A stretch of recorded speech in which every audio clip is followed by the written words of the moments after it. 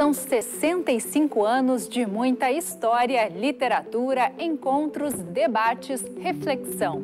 Estamos falando da Feira do Livro de Porto Alegre, patrimônio cultural e material do Estado e do município. Nesta sexta-feira, dia 1 de novembro, inicia uma nova edição que traz como tema Curiosidade é o que nos move. Para falar sobre o assunto, nós estamos recebendo o presidente da Câmara Rio Grandense do Livro, Isatir Botim Filho.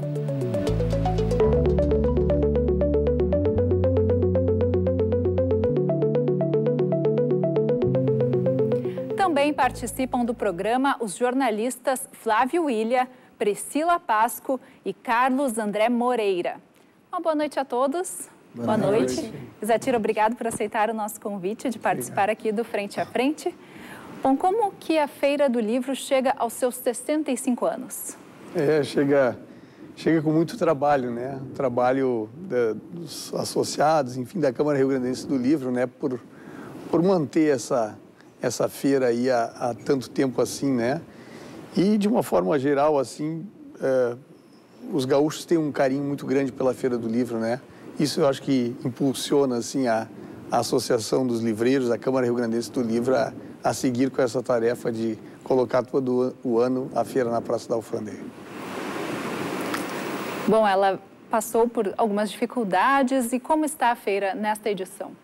Essa edição uh, conseguimos uh, todo ano a gente praticamente parte do zero, né? A, a as dificuldades são muito grandes na questão de captação de recursos e as, as, as leis uh, de incentivo à cultura nos ajudam muito, mas essa, essas crises constantes no mercado financeiro, essa, essa crise que a gente passa, sempre tem uma dificuldade a mais a gente conseguir captar verba no mercado. Presidente, uh, tem como o senhor nos informar, agora que o senhor tocou nesse assunto, o orçamento deste ano, ele é de alguma forma menor que o do ano passado e em quanto mais ou menos? Não, ele é um pouquinho a coisa maior.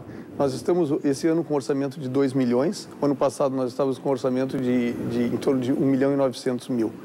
E conseguimos manter o mesmo formato, Uh, só que perdemos esse ano uh, algumas, uh, alguns incentivos do governo federal, por exemplo, Petrobras, perdemos IBGE e o BNDES, que não lançou edital esse ano. Então, é, uma, é um apoio significativo que nós tínhamos nos outros anos. Petrobras já há mais de 10 anos colocava recursos na feira, né? e esse ano não, não está participando. Mas, de outra forma, buscamos esses incentivos também na iniciativa privada né, e com outras parcerias e conseguimos atingir o valor esse do orçamento para esse ano. Presidente, então, é, voltando a falar de questões financeiras, né? Quem acompanha a feira há muitos anos, como nós todos aqui, sabe que a feira encolheu bastante nos últimos anos, né? Uh, e esse ano, particularmente, também deu uma encolhida. Não temos país homenageado esse ano, né? A área internacional diminuiu bastante, a área infantil, que já chegou a ocupar os armazéns do Cais do Porto, lá do outro lado da Avenida Mauá, também não existe mais há algum tempo, né? A área de alimentação, de convivência, de lazer também, para pessoas que frequentam a feira, não só pela feira, mas para encontrar amigos e pessoas conhecidas, que era muito frequente nos anos 80, nos anos 90. Qual é o desafio de, de, de manter a feira de alguma forma, né? Já que ela não voltará pelo que a gente percebe, não voltará a ter a estrutura, o tamanho a característica que tinha. Qual é o, o, o rumo, qual é o caminho que a feira vai tomar daqui para frente para se manter de alguma forma, já que as coisas estão mudando muito rapidamente? Claro. Nós, uh, diante dessa crise todo, nós, toda, né, nós tivemos momentos assim muitos, muito promissores assim na década de entre 2000, 2010, 2012 por aí nós tivemos um mercado muito uh, in, muito crescente. Então, com isso, nós tínhamos, uh, chegamos a ter 140 expositores. Então, não temos como fazer uma feira maior se o mercado está retraído né, no momento. Então, nós tivemos o fechamento de grandes livrarias, de muitas livrarias, editoras. Então, o, o momento é de dificuldade mesmo do mercado, do mercado livreiro. Uh, isso se deve também a essa, essa o que ocorreu com as grandes redes uh, de, de, livrarias e, e editoras, né, essa, as, que estão em recuperação judicial agora, isso tem um reflexo também no mercado como um todo, né? Nós tivemos, na época que a feira foi até o Cais do Porto e atingia aquela, aquela, aquela região toda, foi um momento de muito, muito crescimento na, na cadeia do livro. Nós tínhamos 140, 150 expositores. Então, nós tínhamos expositores para preencher todos os espaços. Né? No momento, nós estamos com 106 expositores. E nós também, por, se a gente faz uma feira maior, nós temos que captar mais verba no mercado. E com essa dificuldade, nós ah, ah, achamos que esse limite da Praça da Alfândega nos atende bem no momento, com esse número de expositores. Se nós crescermos mais, como era permitido, e alguns anos atrás, ah, cada associado podia ter até duas bancas, então, com isso, seria, uh, seria mais fácil ter uma feira maior. Mas, como com a crise financeira não tem, hoje em dia a despesa é muito grande para ter duas bancas, um mesmo associado ter duas bancas, colocar uh, o pessoal dobrado para trabalhar, duas bancas, ter um estoque. Então, a gente acompanha o mercado, né? Mas a, a, acreditamos, assim, que, sem dúvida, esse espaço da Feira do Livro, hoje, ele nos atende bem. Esse ano estamos com 106 expositores, um, ano, um expositor a mais do que o ano passado. E, e ela atende bem, todos estão contemplados ali na praça. Então é uma questão assim de ajustes, né? Nós temos que acompanhar o mercado. Nós até poderíamos crescer ela, mas uh, aí teríamos que buscar mais recursos, que está muito difícil hoje em dia. E o número de associados também, e, e, ver no mercado se os associados est estariam dispostos a participar com duas bancas, né? Então é, a gente acompanha o mercado, né? E, presidente, se pensa, por exemplo, durante muitos anos, a feira ocorre durante duas semanas. Foi cogitado, é cogitado, por exemplo, em diminuir, talvez, diminuir um pouco o, o, os dias de feira para poder dar uma, uma ênfase, talvez, na programação, poder até aproveitar melhor os recursos? Já pensamos nisso, mas é que, ah, ao nosso ver, assim, é um investimento muito grande para uma semana só. Então, é um investimento de 2 milhões de reais que a gente faz. Uh, tem livreiros que se deslocam do interior para participar da feira. E nós temos uma programação cultural muito grande envolvida. Nós temos mais de 300 atividades e nós ocupamos os prédios públicos do entorno com parcerias, Memorial do Rio Grande do Sul, o Marques e o Centro CR Veríssimo. Então, uh, esses espaços, uh, durante duas semanas, a gente consegue colocar toda a programação ali. Durante uma semana, talvez nós não teríamos como colocar uma programação consistente e fazer a feira em uma semana só, né? E o custo que se tem para colocar a feira em uma semana ou em duas acaba sendo muito próximo. Então, é uma oportunidade a mais de venda que o associado tem que ficar duas semanas, né? Dois milhões são suficientes para uma feira do tamanho que ela tem ou é, é, ou é pouco? É pouco, é pouco. Uh, a gente faz essa feira com 2 milhões graças assim a, a, todo tipo de parceria que se faz. Né? Nós somos praticamente, uh, podemos falar que um coletivo. Então, muitas editoras uh, custeiam a passagem dos escritores, dos autores de fora. Então, nós temos muita troca troca por, uh, por, uh, por visibilidade no guia da feira, na programação. Então, nós temos muitas parcerias, muitas, muitas, inúmeras parcerias assim. Então, isso que faz com que a gente baixe o custo para 2 milhões. A gente vê que as feiras dos grandes centros do país custam 5, 6 milhões e duram uma semana e não tem uma programação, às vezes, tão vasta como a nossa. A própria feira já teve um orçamento maior em edições anteriores, sim, correto? Sim, tivemos uma feira de 4 milhões quando ela atingia aquela área do cais, o que era muito bom para nós, porque nós utilizávamos, utilizávamos os armazéns como teatros, um teatro para mil, mil lugares, né? E hoje nós contamos com um teatro para 300 lugares ali, que esse ano está entre o Memorial e o Santander. E ela já teve três semanas também, ela sempre começou na última sexta-feira de outubro, né? Isso. Agora ela está começando em novembro, né? É. Ela já encolheu no tempo também, né? É, essa, essa, essa passagem assim, para a primeira semana de novembro, de novembro se deve ao fato de Uh, enfim, os salários antigamente eles eram pagos no, na última semana do mês, né? E com esses atrasos constantes, a gente não tem por que fazer uma feira e uma semana e não ter o rendimento e a venda uh, necessária, né? Então, se readequou um pouquinho o, o, calendário, ele tem começado sempre nos primeiros dias de novembro, uh, sempre tem ficado nessa, nesse, mais ou menos nessa data, né? No último dia de outubro, o primeiro dia de novembro. Em relação à expectativa de público, ela é de alguma forma, eh, sofre alguma interferência dessas dificuldades que você citou? Não, não. Nós temos, eh, ao longo dos anos, assim, a gente tem visto que o público que frequenta a feira oscila entre 1 milhão e 300 e 1 milhão e 400 mil pessoas. E é importante salientar também que 30% desse público é público do interior do estado. É um fato muito interessante que a nossa feira agrega um público muito grande do interior do estado também. Em relação ao, ao, número né, de vendas, né, de livros vendidos, entre 2017 e 2018, esses números oscilaram, diminuiu e depois voltou né, a, a, a crescer um pouco mais. Mas a gente quem frequenta a feira às vezes escuta, né? Quem está vendendo ali reclama que as vendas ainda uh, são baixas e da parte do leitor diz que os descontos, né, não são tão significativos. Por outro lado, também tem a programação da feira, né? Que a feira do livro procura atender também diversos temas.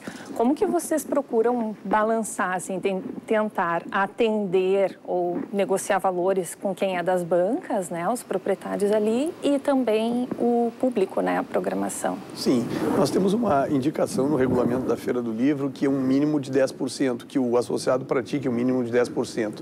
Mas é uma tradição já da feira, desde os dos primórdios, lá das primeiras feiras, praticar 20% de desconto. Esse desconto vem sendo cumprido, assim, e eu acredito que a Feira do Livro é uma oportunidade muito grande para comprar livros com desconto porque as, algumas editoras elas uh, praticam até 50% de descontos. As editoras que têm uma margem um pouquinho maior de, de, de vender o livro na praça, que elas estão vendendo direto ao consumidor, então algumas editoras têm um desconto muito grande. Então eu acho que essa, esse desconto da feira, eu acho que ele se mantém. Eu acho que e quanto ao crescimento de vendas, assim, a gente teve um, um, crescimento e eu aposto nisso. Eu acredito que a feira esse ano ela vai manter um crescimento devido à ruptura no mercado. O que que acontece?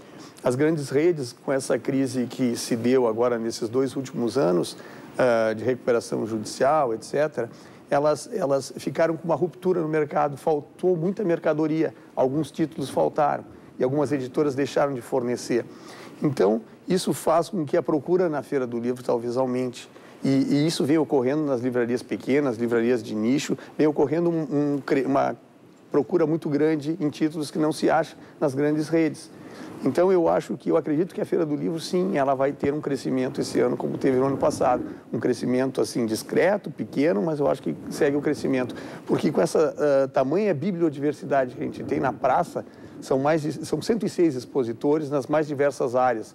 Então eu acredito que é uma oportunidade assim imensa assim de o um leitor encontrar os seus livros e encontrar livros com desconto. Presidente, o senhor falou de bio, bibliodiversidade e uma das coisas que também se escuta todos nós aqui já circulamos muito pela praça, trabalhando, fazendo a cobertura. Ou o Flávio também hoje é, ele é um, um integrante da cadeia do livro. E muito do que se fala, de, os frequentadores comentam, é que nos anos esses que nós estávamos falando, em que a feira esteve no seu auge em termos de tamanho, a bibliodiversidade, numa, numa inversão até meio irônica, parecia haver diminuído, porque havia muitos lançamentos, aqueles considerados best-sellers recentes, que ocupavam por igual a maioria das grandes bancas, ou, das, ou da, a maioria das bancas no local. O senhor acredita que esse novo quadro aberto por essa crise nas maiores livrarias, nas grandes redes, vai de alguma forma resgatar essa coisa de cada banca ter uma certa identidade? O senhor prevê isso para esse ano, talvez? Não, eu acho que com certeza, eu acho que sim. Eu acho que essa questão, assim, nós paramos também, isso tem um fato muito relevante, nós paramos com aquelas pesquisas de livros mais vendidos, né? É, e a nossa ideia atualmente é fazer uma pesquisa com os livros mais comprados onde a gente pudesse verificar, assim como teve alguns anos atrás, uh, verificar essa sacola do comprador, do leitor, para ver quais os livros que eles estão comprando. Porque os mais vendidos era uma pesquisa que era feita com o próprio associado. Então, sofre uma interferência. O editor, o livreiro, ele acaba indicando o livro que ele tem uma, enfim, uma disponibilidade maior de venda e, e, e queira vender os best-sellers. Então, isso pode ter uma, um ruído nessa, nessa pesquisa. Então, a nossa ideia é voltar, não sei se esse ano nós vamos conseguir, a fazer uma pesquisa dos livros mais comprados.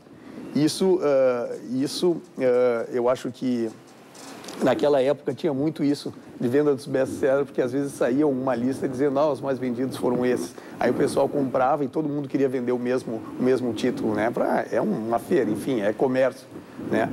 Então eu acredito que com a pesquisa isso já mudou muito o cenário desses 10 anos para cá. Eu acho que nós paramos de fazer essa pesquisa, eu acho que foi uma influência muito grande nessa, nessa parte. Eu acho que o, o pessoal assim tem consciência em trabalhar os seus livros e vender o seu, o seu nicho e trabalhar com a, a fidelização do cliente, né? Eu Não é só uma questão econômica também, eu acho, né, presidente? Porque a feira também já teve uma relevância uh, cultural e literária maior.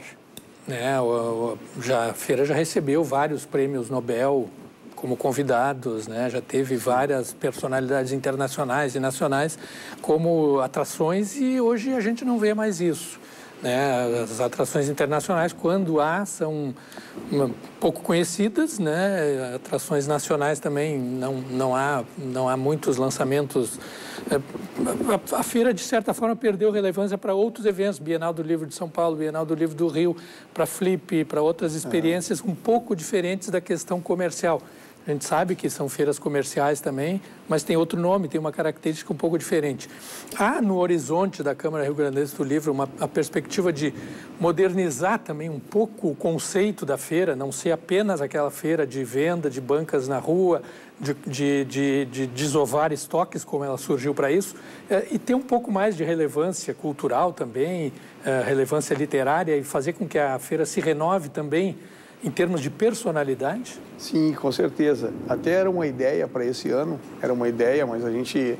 Uh, uh, o tempo passa muito rápido, a gente tem poucos recursos, né? Então, nosso planejamento esse ano já era uh, inovar com algumas coisas, como, por exemplo, trazer a programação mais para o centro da praça, para o chão da praça. A programação, atualmente, ela é muito boa, muito consistente, mas ela fica ela fica muito fechada aos prédios, limitada aos prédios. Isso inibe o acesso ao público. Então a nossa ideia era, fazer, eh, era construir mais arenas uh, ao longo da praça, no, no leito da praça, para que essa programação ficasse mais acessível ainda. Então nós programamos inicialmente uma uma arena geek, uma arena para o público jovem, porque nós, a, nós entendemos que nós devemos separar o público infantil do jovem, porque o jovem não frequenta a área infantil. Então, o jovem atualmente ele fica um pouco deslocado na Feira do Livro. Tem a programação adulta, tem a feira adulta e tem a programação infantil e o setor infantil que o jovem não vai, ele se sente inibido. Então, nossa ideia era fazer uma arena geek com essa parte de literatura fantástica, games. Até começamos um projeto, mas não conseguimos tocar frente diante da dificuldade de captação de recursos. Mas a nossa, nós ainda buscamos isso para o próximo ano. E a mesma, da mesma forma, no canto, no, na área da, das humanidades, e trazer esse assunto também para o centro da praça, uma arena mais. Uh, uh, que a gente pudesse discutir mais temas relevantes, né, no centro da praça mesmo, como como era a nossa intenção, mas também não foram duas ações que nós não conseguimos devido à captação de verbos. Por outro lado, nós criamos esse ano uma arena inovação que vai tratar só de novas tecnologias e essa parte toda do conhecimento aliado de tecnologias, uh, startups, toda essa parte de desenvolvimento tecnológico uh, que vai atrair um certo, uma certa parcela desse público jovem e jovem adulto, que a gente quer buscar e retomar esse público para a praça, porque a gente acha que talvez aí esteja a nossa, a nossa ruptura, né? porque a, a área infantil está sendo muito bem cuidada, muito bem tratada, tem uma programação consistente, o público adulto também, e a gente perde pela metade do caminho os jovens, né, jovens adultos que a gente quer resgatar para a feira. E nesse sentido, assim, também falando a respeito da programação, essa renovada, uh, pensa também se trabalhar, por exemplo, com uma espécie de curadoria ou Sim. curadores para enfim, a gente sabe a partir de experiências de outras feiras que esse trânsito ocorre e, de fato, isso traz um resultado, né? Vai oxigenando um pouco mais, assim. Sim, a nossa ideia é essa. A gente tem pensado nisso, é, mas também nós, é, de qualquer forma, nós ficamos limitados ao orçamento. Nós estamos engatinhando, nós estamos tentando buscar esse formato de curadoria já conversamos com diversas pessoas, assim, ex-patronos, é, aliás, patronos de feiras passadas, né, com esse público mais assim, uh, que está mais ligado à Feira do Livro, para construir um formato assim é, de curadoria mesmo, que não, que a gente acaba uh, ficando limitado a gente busca uma programação bem contemporânea, bem ligada ao momento, mas nós ficamos sempre uh, uh, meio que reféns assim das editoras e da disponibilidade de autores que a gente busca mesmo assim, respondendo aquela questão também dos autores internacionais, né, isso nos limita muito, o orçamento nos limita muito. Então, nós acabamos assim aceitando e tratando a, com as editoras o que é possível para a feira, né? Mas seria lindo se tivéssemos um orçamento maior para poder buscar autores é, de uma forma, um renome né, mais renomados e, enfim, como já tivemos em outras épocas. Né? Presidente, uh, falando nessa questão de relevância, uma coisa que me chamou a atenção esse ano é que houve uma mudança na escolha da atual patrona. Né? O processo que vinha sendo feito há 20 anos por meio de uma eleição da qual saíam cinco finalistas que eram submetidos a uma nova votação para dali sair o patrono. Esse processo mudou e um dos motivos que o senhor, inclusive, nos comentou quando a gente falou sobre o assunto em uma, há umas semanas atrás é que dos 141 associados da feira, a primeira fase de votação teve a resposta de apenas uns 30. Está difícil fazer com que os próprios integrantes da Câmara considerem essa a, a, a, feira, a tua relevância que ela deveria ter ou já teve? Porque me parece uma, uma ausência significativa de, de, engajamento, digamos assim, dos próprios integrantes da comissão da, da, da Câmara que organiza o evento, né? Aproveitando é, a é... pergunta do Carlos, gostaria que o senhor já explicasse também um pouco como funciona essa votação para a gente entender, certo. aproveitando a pergunta. Certo. Carlos, assim, uh com essa crise toda do mercado, nós acreditamos da diretoria assim que uh, os associados assim são uh, nós temos uh, nós somos formados assim na grande maioria a associação é formada por um grupo de pequenos pequenos pequenos livreiros. Então eu acredito que essa, essa, essa corrida do dia a dia, esse envolvimento, cada um focado no seu negócio, isso aí distancia um pouquinho a associação. Nós a gente faz, a gente provoca para ter essa votação, mas esse ano tivemos uma votação muito pequena. 30 votaram apenas. E esses 30 indicaram cinco nomes. Uh, geralmente é assim, os associados numa primeira fase indicam cinco nomes e nós, uh, desses cinco nomes, buscamos os mais votados dentre esses cinco e, e largamos isso, essa lista uh, quíntupla, né, pública, para todo mundo votar. Esse ano, esses 30 que votaram, que foi um número muito pouco significativo em relação a 140, eles votaram cinco nomes, assim, de forma... Tiveram 50 nomes uh, votados. Então, o nome, o nome que teve maior número de votos teve quatro votos. Então, a gente colocando isso no universo de 140 é muito pouco representativo. Então, pela, pela respeitabilidade do cargo, honorabilidade e tal, em respeito a todos os escritores, nós achamos melhor buscar o processo de volta. Conversamos com os, os patronos de feiras anteriores e ex-presidentes e buscamos uma solução. Ah, quem sabe então nós ajudamos a diretoria a escolher achamos que esse formato foi bem, foi um grupo seleto, um grupo que tem conhecimento de toda a, a, a enfim, todos os escritores do mercado gaúcho. E esses patronos indicaram, junto com os ex-presidentes e a diretoria, e chegamos no nome, no nome da, da patrona Maria Carpe. Eu acho que de um, próximo, Maru, um próximo... Barbieri. Maru Barbieri, desculpa. Maria Carpe foi Maria Carpe foi ano passado, desculpa, Maru Barbieri. Uh, Queremos uh, aperfeiçoar esse processo e eu acredito que nós estamos chegando num modelo melhor um pouquinho, que seria assim, a partir dessa lista dos patronos e ex-presidentes e depois lançar essa lista de volta para os associados e para a população. Eu acho que seria uma forma mais Quer dizer correta. que o modelo de eleição que existia até o ano passado não deve voltar mais, então? Eu acredito que ao contrário. Eu acredito que agora, como nós fizemos esse ano que deu certo, essa lista saia desse conselho menor de patronos, ex-presidentes, e, e, daí se divulga. Se exatamente. É um processo talvez mais pensado, por quê?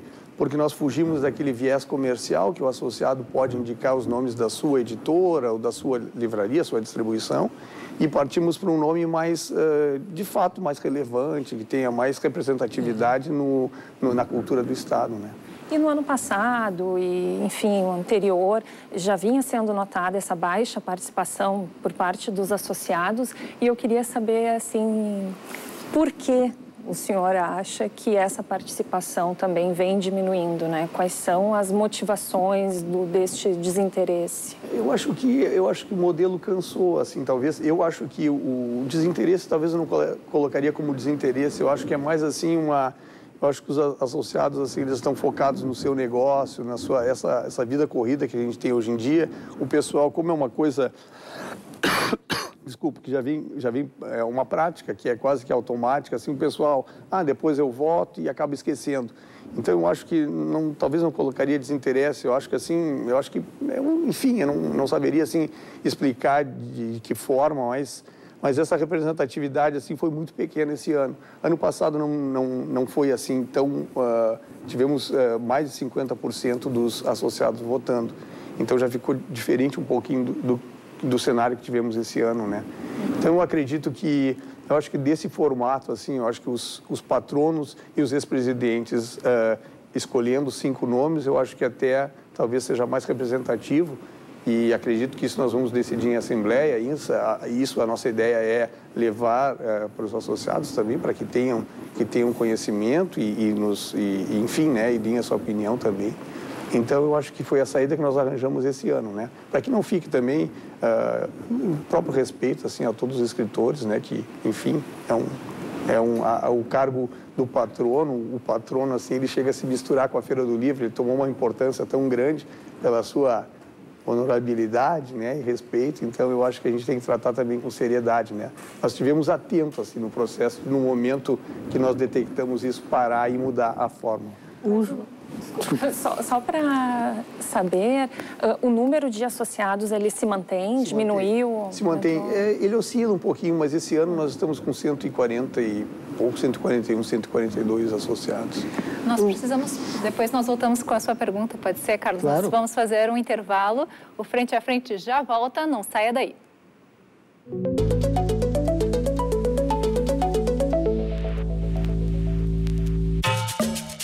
Todas as noites de segunda a sexta-feiras, Consumidor em Pauta está no ar na TVE para responder perguntas sobre direito do consumidor. Maior número de reclamações PROCONs continuam sendo os cartões de crédito. Direito do trabalho. Se a empresa despedisse sem justa causa, teria que dar o aviso prévio de 30 dias. Direito de família. Devedor de alimentos é um dos poucos casos que, por dívida, pode ser preso. E direito previdenciário. Pode pagar esses atrasados, desde que consiga provar para a Previdência que teve uma atividade remunerada naquele período período. Você é nosso convidado. Nós estaremos aqui exatamente para defender os seus direitos. Bem-vindos a Zumbilândia. O diretor de Venom e roteiristas de Deadpool te convido para um filme que é pura gritaria e dedo no. É o seu pai? Gatilho. Ah, opa! Ei. Zumbilândia, atire duas vezes hoje nos cinemas. Ela pinta enigmas nos olhares ela esculpe mentes que revolucionam o mundo. Ela arquiteta invenções que nos mostram o universo. Ela escreve a nossa história há 65 anos. A curiosidade é o que nos move. Feira do Livro de Porto Alegre.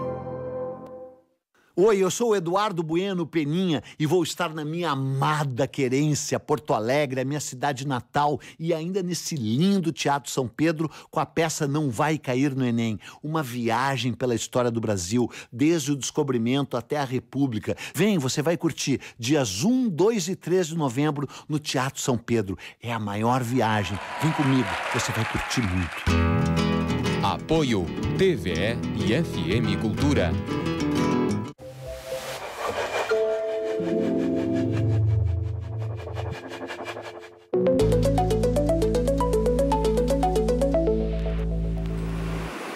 Estamos de volta. O Frente a Frente recebe hoje o presidente da Câmara Rio Grandense do livro, Isatir Botim Filho. E eu passo direto a palavra para o Carlos, que tinha uma pergunta para fazer no final do primeiro bloco, Carlos. Obrigado.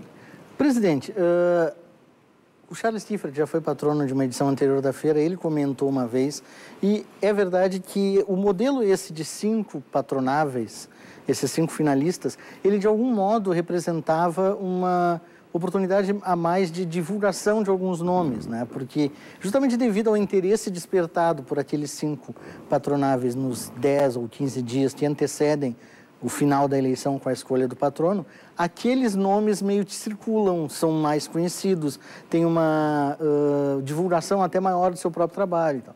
A feira pretende, de algum modo, voltar com essa lista sabendo disso ou essa, essa maneira de, de escolher diretamente, sem ah, nos finalistas é, é, vai ficar? Não, não, eu acho que a ideia é voltar mesmo. Era muito, era muito interessante a gente ter isso, porque a feira já começa a, a enfim, é, é o, o, contato dos, dos, dos, leitores com esses autores, até para conhecer suas obras, se não conhecesse. Eu acho que é muito, eu acho que sim, eu acho que a nossa ideia é voltar com esse modelo, era um modelo que, que deu certo. O que não deu certo, na verdade, foi a, a, a esse ano, né? Foi esse baixo, essa baixa uh, uh, representatividade que nós tivemos no primeiro momento. Mas com certeza, esse modelo é essa forma de divulgar. Até a gente pretende fazer isso com mais antecedência até. É, Como foi, foi a reação né, em relação a essa mudança? É, no primeiro momento, assim, o pessoal não entendeu, não, não, não chegou a, a, a, entender, assim, por quê, né? O porquê isso, a, o porquê disso, né? Mas a gente também não, não teve como uh, avançar daquela forma que nós consideramos, assim, errada, né? Em, em, com pouca representatividade, não que, que estivesse errada. Então, nós uh, paramos nesse momento, assim, foi mais um momento de colocar atenção, assim, ver como o processo estava sendo feito e nós mudamos. Foi enfim, foi mudado pelo meio do caminho, mas foi uma forma só de, de não avançar com um modelo errado, talvez, o que viesse prejudicar. Essa baixa representatividade, assim, observada agora, ela pode ser, de alguma forma, reflexo do momento atual do mercado do livro, ah, por exemplo, certeza. né? Porque Sim. o senhor falou de cada um focado no seu negócio, cada um preocupado com seus problemas, né? Sim. E a gente sabe que o livro, a, cadeia do livro, o sistema literário é um processo coletivo, né? Sim. Tem o escritor, tem o editor, tem o pessoal que faz a arte do livro, que faz o projeto gráfico, tem revisores, tem livrarias, tem livreiros, tem uma série de elementos, de variáveis que formam essa cadeia, né? E quando ela se torna cada vez mais individualizada, ela perde um pouco a sua essência, né? Isso de alguma forma preocupa, assim, essa individualização ou essa encaramujação assim do, do, do, mercado livreiro, cada um cuidando dos seus problemas e não está muito preocupado com os outros? Ah, preocupa, preocupa bastante. Nós estamos até pensando assim como a gente pode retomar isso e fazer com que haja um engajamento maior dos associados, né? Mas isso com certeza é, é pertinente, é, é, bem esse o fato o que ocorre atualmente é, é bem isso. Cada um focado no seu seu negócio, né? Porque a gente passa todo tipo de dificuldade nessas crises e, e, enfim, essa essa guerra com as grandes, né? Que a gente tem que competir com preços no mercado, enfim. E mas eu acho que nós temos uh, condições assim de, de mudar isso e, e trazer com que volte a coletividade, né? E a cadeia. Como que se... poderia mudar isso? Eu participei agora, no último mês, eh, de uma reunião anual de livrarias que teve da ANL e a, o setor de farmácias, ele teve uma saída muito, buscou uma saída muito interessante. Eles fizeram uma... A, o setor de farmácias, assim, ele sofreu a mesma, essa mesma uh, dificuldade há uns 15 anos atrás. O mercado se uniu e tratou de, de corrigir esse problema da ruptura, da falta de produto no mercado. Então, eles fizeram com que as distribuidoras e, as, as indústrias, e a própria indústria farmacêutica, as, as empresas que fabricam e as distribuidoras, uh, façam o controle diretamente das farmácias, controles de estoques e conseguem com isso fazer com que não falte produto nas farmácias. Então hoje em dia a gente vê esse, esse mercado farmacêutico assim enorme, assim num crescimento assim que a gente não cada vez que a gente olha para o lado nasceu uma farmácia e tem uma farmácia e a farmácia ela eu faço essa, essa comparação com a farmácia que foi o que eu assisti nessa nesse evento da a, a reunião anual de, de, das livrarias. A farmácia é uma, é uma área que ela tem, é, os, e os índices da Unesco também colocam assim, uma farmácia para cada 10 mil habitantes. E a mesma coisa as livrarias, é uma livraria para cada 10 mil habitantes, é um, um, um índice recomendado.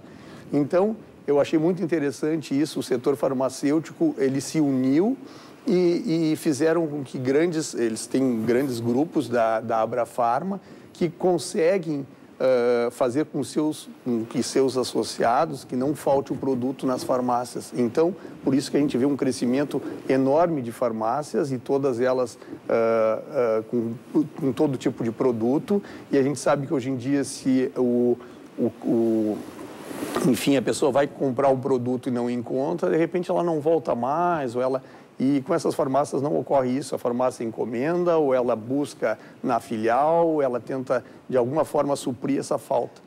E essa isso que a Associação Brasileira de Farmácias fez foi muito interessante. E é uma, é uma ideia que a Associação Nacional de Livrarias trouxe para fazer com que as livrarias pensem num modelo similar para que não falte produto no mercado. Mas, presidente, o senhor me desculpa lhe interromper, é só porque essa, essa comparação uh, me despertou uma pergunta que é a seguinte. Nós temos uma questão histórica no Brasil que é as pessoas, elas valorizam, pessoas, o público geral, ele valoriza mais os produtos da farmácia do que os produtos de uma livraria. É, isso é, tipo, a educação tem problemas nesse sentido. O livro como indústria é uma é uma indústria que de, de, de, sei lá, décadas, de três em três décadas, ela precisa quase retomar tudo do zero. Hoje ainda nós vivemos um período em que agentes políticos estão elegendo a cultura como uma espécie de objeto de ataques constantes. Tem como pegar esse modelo de farmácias, que, digamos, as pessoas vão comprar na farmácia sempre, para a livraria, que que está no meio de uma crise, justamente porque esse produto, embora seja relevante, ele não tem sido percebido como relevante por tanta gente? É, uh, assim, eu, a, primeira parte assim, da tua colocação é muito interessante. Nós ainda, segundo a última pesquisa Retratos da Leitura no Brasil, do Instituto Pro Livro, 44% dos brasileiros não leem e 30% dos brasileiros nunca compraram um livro. Então, realmente é um desafio trabalhar com esses números nessa ordem de grandeza um país grande, continental, mas eu acho que nós temos que ter um norte para seguir. Assim, eu acho que um modelo, esse modelo apresentado, que foi um modelo nada mais do que um modelo de união mesmo, de união das, das, da cadeia produtiva lá, das farmácias, das empresas, das, da indústria farmacêutica, das distribuidoras e das farmácias. Foi, eles quiseram colocar com isso que foi um modelo de união mesmo. Eu acho que o mercado livreiro ele pode se unir, tem condições de, de unir. Uh, atualmente, o que se vê com essa crise, a meu ver, é que antigamente nós tínhamos um, uma certa, uma, um certo respeito na cadeia do livro, a editora vendia para o distribuidor, o distribuidor alimentava as livrarias, vendia para as livrarias. Hoje em dia, essa cadeia do livro ela se, ela se coloca de uma maneira transversal. Então, todo mundo vende para todo mundo. O editor vende direto para a livraria, o editor vende direto para o consumidor, para o leitor final. Então, uh, então, uh, essa cadeia hoje ela está horizontalizada, a meu ver, assim, não temos, uh, como era antigamente, uma sequência assim de respeitar a cadeia. Então, eu acho que com essa união do grupo, da cadeia produtiva do livro, eu acho que talvez a gente consiga Mas nessa avançar. cadeia, desculpe lhe interromper, mas nessa cadeia tem um efeito Amazon, que é um efeito devastador, né? Eu queria que o senhor falasse um pouquinho do efeito Amazon no mercado, no negócio do livro e qual é o prejuízo que ele causa nessa cadeia horizontal, mas praticando até dumping, né? A gente sabe Sim. que é, um vende gato, mais barato que a editora, né? Não é um gato como. grande no horizonte e ele não, não, não vai respeita essa cadeia, né? Sim. É. E, é, não respeita eu, nem eu, o custo interno de assim, cada negócio e tal. É, né? é, é, é violento, é violento. Né? Eu também não saberia, assim, não teria uma, um, uma explicação, assim, para é, eu acho que é, uma, é, um, é um desafio que nós vamos ter pela frente. Ah, mas eu digo assim, o, o efeito Amazon é sentido, ele Sim, é... Ele é, sentido, ele, é sentido. Ele é, ele é, é percebido pela Sim, cadeia. ele é percebido, ele é percebido, mas eu acho que, uh, por isso que eu volto, assim, eu acho que, uh, eu acho que é o momento, eu acho que talvez até já, uh, assim, o momento tem que ser agora da união da cadeia. Né, porque assim esse mercado é um mercado é um mercado predatório, eu poderia dizer, porque ele vem assim com toda a força, né? E isso aí pode acabar uh, fazendo isso, uh, desestruturando todas as pequenas livrarias, editoras, distribuidoras, enfim, vai, vai quebrar o mercado. É um novo momento que nós estamos passando, né? Mas eu acredito que Uh, eu acho que o momento seria de união, né? de trabalhar mais essas políticas públicas para o livro, que a gente, uh, uh, o ano passado foi assinada a Lei Castilho, que, enfim, o governo esse ano já deveria ter dado andamento. Essa, esse assunto ele está muito, uh, tá muito uh, de uma forma assim uh, deixado de lado pelo governo. Né? Eu acho que nós temos que avançar nesse sentido. Políticas públicas e a união da cadeia produtiva do livro. Pois é, as pequenas, desculpa, Priscila, as pequenas livrarias como estão enfrentando esse momento? Pois nós já falamos das grandes redes, não é, que estão aí enfrentando uma crise. Algumas entraram com pedido de recuperação judicial e as pequenas como estão se virando nesse momento? Eu é. posso emendar a pergunta claro. porque era era essa uh, voltada no caso ali também para as bancas, né? Nesse sentido, são pequenas livrarias e editoras, editoras também que uh, se dedicam a publicar mulheres escritoras escritores e escritoras negras, que a gente sabe que a inserção no mercado ou até mesmo em eventos, isso já foi tema da Feira do Livro em edições passadas, né, reivindicando o espaço mais desses escritores. E no caso, esses grupos como agentes ali também vendendo livros, só que daí editoras menores tem possibilidades, né, uh, recursos também bem menores. Não sei se a feira pensa em abrir um espaço ou pensar nessas nessas editoras e livrarias de alguma maneira que de repente não tem uma tiragem muito grande, mas que poderia participar, enfim. Sim, uh, da forma de participação assim, ela é bem ampla. Assim, nós temos assim uma uh, todas podem hoje em dia participar, mesmo não sendo associadas. Uh, basta que tenha algum algum vínculo, talvez, com algum distribuidor, ou algum livreiro, ou algum editor, que isso é muito fácil. Às vezes a editora não é associada à Câmara Rio Grande do Livro, mas ela pode ter é, os seus livros em uma livraria, a livraria faz a inscrição para poder divulgar durante a feira e trabalhar o livro sem problema algum. Isso nós temos essa, essa possibilidade, assim, todas são atendidas. Isso, isso é, é, é fato, assim. Agora, quanto às livrarias pequenas, assim, uh, nós acreditamos, assim, nós como associação, assim, a gente não... Uh, nós buscamos associados também, né? Eu sei que é difícil no mercado, mas uh, a, gente, a gente já pensou em fazer uma mensalidade, de repente, mais em conta, para ter também as livrarias pequenas, mas a gente não sabe de que forma o grupo, o grande grupo dos associados vai aceitar isso, né? Nós já, já pensamos nisso. Uh, certamente nós devemos evoluir nesse sentido, né? É que no estatuto ali a gente vê né, o valor que precisa isso, pagar logo no início, isso, nós temos... 3 Ainda mil, tem, mais a parcela, é. então para as pequenas... É. Ainda tem aquele período de carência também que é, de dois anos, né? Dois é. é. Temos porque nós tivemos assim muitas... Uh, isso aí é, é, histórico, né? não é uma coisa assim, isso já está há muito tempo no estatuto, nós... Uh, nós tivemos assim muitos casos de as livrarias virem participar um ano, depois não participar mais, ficar com aquele teste. Isso aí oscila muito a programação para um evento assim que a gente já está fazendo. Uh, eu estava comentando esse ano, agora nesse mês nós já enviamos as, o nosso projeto para a feira do ano que vem, de 2020. Então a gente já começa a pensar assim, mais de um ano na frente, como a gente vai fazer a feira do próximo ano, né? Para poder ter isso a tempo de uh, captar verba nesse final de ano que nos resta, muitas empresas fazem a sua, a seu, o seu planejamento para o próximo ano e encerram em dezembro. Então, nós temos assim, a, temos cada vez mais adiantado esse cronograma para poder captar também verba no mercado. Mas, sem dúvida, as, as, as pequenas livrarias, eu acho que elas fazem um trabalho assim exemplar, porque elas têm um público muito fiel, um público, um nicho de mercado que atende muito bem e muito fiel. Então, eu acho que as pequenas livrarias elas estão se reinventando.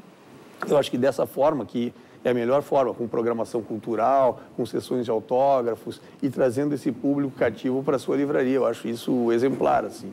Que pena que a gente não pode trazer todas essas para dentro da Feira pois do é, Livro, é, né? é, uma, é, uma, é uma ideia, é uma questão interessante, porque há uma nova geração de livrarias que se formou nos últimos cinco anos é, e que segue um modelo que foi estabelecido, entre outras, pela saudosa Palavraria, por exemplo, uhum. que são pequenas livrarias que funcionam também como mini centros culturais. Como a Priscila falou aqui, eles apresentam muitas vezes uma programação até com uma identidade própria, voltada para um determinado nicho, ou às vezes não, mas também são, são livrarias que fazem no seu espaço parte da cultura da cidade girar em meses em que não há feira. Me parece que haveria muito a se tirar de uma troca entre a, o maior evento cultural do, do, da cadeia do livro no Rio Grande do Sul e essas livrarias que estão, digamos assim, fazendo essa, essa cultura se movimentar ao longo do ano. Assim, Não, que... há uma certa resistência da Câmara em integrar essas, essas iniciativas alternativas, assim, é. entre aspas, na, na, sua estrutura formal e É, de certa de forma, eu acho que, assim, eu não vejo, assim, como uma, uma resistência. Eu acho que isso, isso tudo é, é plausível, assim, eu acho que devemos conversar e avançar nesse sentido. Esse ano mesmo nós pensamos em, em tentar um formato que pudesse é, que a gente foge do nosso. Nós temos um estatuto, nós temos um, um estatuto da Câmara Rio do Livro, que é uma associação, depois nós temos a, o estatuto da. Uh, o regulamento da Feira do Livro, que é outra outro a parte, né? Então nós temos que ver esse meio termo, assim, porque uh, atualmente assim participa da Feira do Livro, os associados na Feira do Livro, que tem uh, sede no estado do Rio Grande do Sul e tal. Então nós temos que ver de que forma a gente faria isso, porque todos pagam o mesmo valor de mensalidade, todos pagam, passam pelo mesmo, os mesmos critérios, né? A gente não tem uma, uma diferenciação nisso.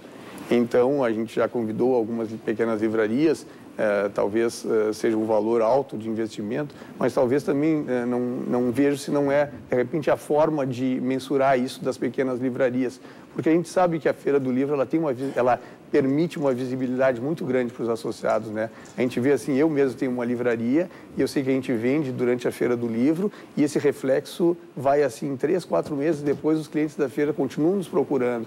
Então eu acho que às vezes é uma questão de visão também do pequeno uh, livreiro uh, de, de ver com outros olhos, assim, de se associar mesmo e participar e talvez fazer um pequeno esforço para participar da cadeia do livro, né? enfim, participar da, da, da Associação da Câmara Rio do Livro. A gente sabe das dificuldades, mas também eu vejo como um grande, um grande, uma grande oportunidade estar na praça e estar junto com todos, né, participando.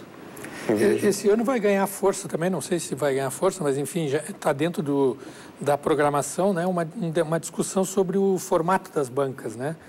A modernização das bancas, um novo desenho, né? Como é que está isso? Hum. Vai realmente para frente é. esse novo formato? Ele tem qual o objetivo, assim, de, de aproximar mais o leitor do objeto livro, porque né, fica ali aquele balcão, muitas vezes o cara não consegue alcançar é. o livro, é meio, é meio hostil assim com o leitor esse formato, né? Que é um formato tradicional, a gente sabe, tem vem lá da década de 40 e tal, mas é um formato um pouco hostil assim, né? Algumas bancas como a Palmarinca já né, transformou isso um pouco, da, a gente pode entrar na banca e tal, mas são poucas as que fazem isso. E talvez o estatuto até não permita, mas enfim, queria que o senhor falasse sobre isso também. É, a nossa ideia, de novo, a gente tem boas intenções, as melhores intenções, mas às vezes não consegue avançar por uma, uma série de questões, né? Entre elas, de novo, eu, de novo eu coloco a crise do mercado, essa, essa parte toda que nos, que nos, que nos cerca, né? Uh, nós fizemos, o ano passado, nós começamos a pensar nisso, nessa questão de nós mesmos uh, darmos uma outra cara para a Feira do Livro, sem perder a tradição, sem perder a nossa, nossos costumes todos, uh, de, de tentar dar uma cara nova. o ano passado nós fizemos uma parceria com uma empresa de tintas e essa empresa forneceu 100 latas de tinta, uma lata para cada associado pintar a sua banca. Já conseguimos avançar um pouquinho. Uh, esse ano, a nossa ideia foi fazer um concurso uh, uma parceria com o CAL para que um, modelos de novas bancas, né? Tivemos também o um resultado, e, só que assim, de novo, a gente para isso precisa a participação dos associados. E numa crise financeira hoje pedir com que os associados mudem as suas bancas, construam novas bancas é muito difícil. Então a gente precisaria de uma parceria, de alguma empresa que bancasse isso, que enfim financiasse toda essa essa parte das bancas, né, ou apoiasse, porque nós somos uma associação de pequenos, pequenos eh, livreiros, né. No nosso universo de 140 são poucas as empresas assim grandes, grandes e que se destacam, né. Então é difícil, é difícil. Nós estamos buscando isso. Fizemos um concurso, tivemos três finalistas, as bancas muito uh, bonitas, assim modernas, com um visual diferenciado. Uh, mas, enfim, é, estamos buscando, mas ainda não atingimos o que a gente uh, nesse, precisaria, né? Que era, enfim, para a feira ficar mais atraente e mudar mesmo a, a cara da praça, né? Este ano não vai ter um espaço reservado também para a praça de alimentação, não é? Porque é o mesmo motivo, por questão, questões financeiras? Não, ou... esse ano, assim, nós tivemos a retomada das obras da Caixa Econômica Federal no Centro Cultural, ali no antigo Cinema Imperial, na Andradas. Então ali nós perdemos 50 metros. E 50 metros ali eh, cabem oito bancas. Então nós realocamos essas bancas para um outro local e tivemos que tirar a praça de alimentação para colocar essas, realocar essas bancas. Então por esse motivo só, para privilegiar mesmo e enfim nós somos uma feira de livros, então nós temos que ter os livros ali, os associados participando. Eh, nós vamos ter ao longo da praça, nas entradas das alamedas, algumas operações de alimentação que vão suprir toda a necessidade. E nos últimos tempos também o centro ali já tem uma, já conta assim com inúmeros restaurantes no entorno, assim, que supre toda essa necessidade da praça de alimentação. Uh, a gestão uh, do, do, presidente ali da Câmara são dois anos, dois anos, né? Dois anos. Em vários momentos o senhor falou que tem boas ideias, que já tinha pensado em alguns temas aqui abordados, uh, além do dinheiro, né, que o senhor já falou, falta de verba, que está difícil para todo mundo, principalmente da área da cultura. Uh, quais são, assim, uh, os entraves? Porque são dois anos de gestão que tenta se colocar em prática, mas internamente existe um, um projeto para o futuro da Feira do Livro, algo que que consiga se manter em outras gestões? Uh, não temos assim no momento. Nós, uh, o que nós temos é assim, é, é nós temos uma série de, de compromissos assim como como Câmara Rio Grandense do Livro, que faz a feira do livro, né? Nós temos assim avançado muito. Isso tem sido uma constante assim nas últimas feiras nas questões de acessibilidade e inclusão social. Isso sim, nós temos como compromisso dentro da Câmara em seguir essas essas questões principalmente acessibilidade. Nós, a gente, como eh, é um evento aberto, nós temos, eh, enfim, todo tipo de, de problemas ali na praça. Tínhamos, né? Temos algum pro, eh, problema na o pavimento, ele é irregular, são pedras portuguesas, patrimônio, o patrimônio é tombado pelo patrimônio histórico. Então já se pensou em algumas parcerias com uma empresa que tem um piso emborrachado para colocar para facilitar o, enfim, a, a, a a passagem na, a um leito da praça de cadeira de rodas, alguma coisa do tipo, rampas. Nós sempre colocamos rampas em todas para tornar a, a, praça de uma forma assim com uma acessibilidade universal, né? Então nós tratamos de todas essas questões a todo ano. Mas assim um projeto de, hum, por exemplo, inovação, alguma coisa que seja que esteja hoje, nós não temos, assim, infelizmente nós não temos. E o que se busca, assim, dois anos passam rápido, e o que se busca sempre é fazer uma feira com uh, melhor a cada ano. E os esforços, assim, são imensos, assim, nós contamos com uma equipe, uh, uma equipe pequena dentro da Câmara, mas uma equipe muito muito fiel, assim, muito, uh, muito uh, ligada assim com essa questão da feira do livro. Eu fiz, ah, eu fiz uh, só essa pergunta. Eu fiz essa pergunta também para saber se existe essa ideia de continuidade, né? Porque aqui nós falamos em várias sobre curadoria, né? Essa conversa com outras editoras. Então por isso queria saber assim se esses projetos são discutidos para ter continuidade, inclusive numa próxima gestão até com outro nome, né? Sim, como nós temos assim produtores que já estão há, há muito tempo dentro da Câmara Rio Grande do Livro, produtores que estão há 30, 40 anos e, e mesmo na parte administrativa, essas questões assim elas se mantêm. É, uma Câmara, a Feira do Livro, acabaram perdendo isso por causa desse histórico todo. E eu acho que cada cada gestor que passa, eu acho que sempre procura melhorar um pouquinho e graças a isso a gente chega aos 65 anos, né? Não é um trabalho único, isso é um trabalho ao longo de 65 anos aí que se tem. Acho que todos que passaram pela Câmara Rio do Livro, acho que deixaram a sua marca, assim. Eu acho que eu acho que é um trabalho assim de continuidade mesmo. Em, em, edições recentes houve também alguns problemas com a prefeitura, né? Em edições bem recentes, assim, com o atual prefeito, tal, que investiu contra a feira ameaçou com multas e tal, uma série de coisas, né? Cobrança é, pela praça. Cobrança, uhum. né? Cobrança de, da limpeza, não ia fazer limpeza. Já conseguiram convencer o prefeito de que a feira é importante, de que sim, vale a pena sim, fazer foi... a feira ou ele ainda está relutante? Não, não, isso foi isso? tudo bem, bem, uh, bem, uh, enfim, está bem encaminhado todo o processo. Nós tivemos um, teve um decreto, como aquela área ali é uma área para a feira do livro, e não vai ser cobrado. Isso aí surgiu no ano passado devido ao gabinete de eventos, que teve uma, uma série de, de mudanças na prefeitura, mas a, a partir do último ano está tudo registrado já através de um decreto, a feira não vai ser cobrada. Nós fizemos uma parceria e o que ocorre é que, atualmente, assim, os livros que são lançados nas sessões de autógrafos, nós uh, sempre pedimos uma cortesia para as editoras de dois exemplares e esses dois exemplares eles vão para o acervo das bibliotecas municipais. Então, nós, uh, agora, desde o ano passado, esse ano vamos repetir o formato, a gente faz uma doação de cerca de 1.300, 1.400 livros para a prefeitura, para as bibliotecas municipais, e são livros de lançamentos, então eu acho que o formato ficou bom para os dois lados, né? E nos últimos dois anos, três anos, também por conta dessa polarização política se viu e do aumento dessa polarização, houve problemas também com questões relativas à programação paralela. Uma ou duas sessões, daqui a pouco era bem ali o auge da polêmica envolvendo a Queer Museum, uma ou duas sessões foram canceladas por conta de seus temas. Esse ano, como é que vocês estão se preparando para a programação desse ano e, se há alguma, alguma espécie de plano de contingência daqui a pouco, se houver algum caso parecido outra vez? Assim.